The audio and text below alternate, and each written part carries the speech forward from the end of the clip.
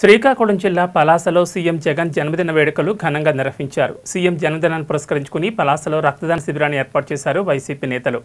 రక్తదాన శిబిరంలో మంత్రి సీతిరి అప్పలరాజు పాల్గొని రక్తదానం చేశారు ప్రతి ఒక్కరూ ఈ కార్యక్రమంలో పాల్గొనాలని మంత్రి పిలుపునిచ్చారు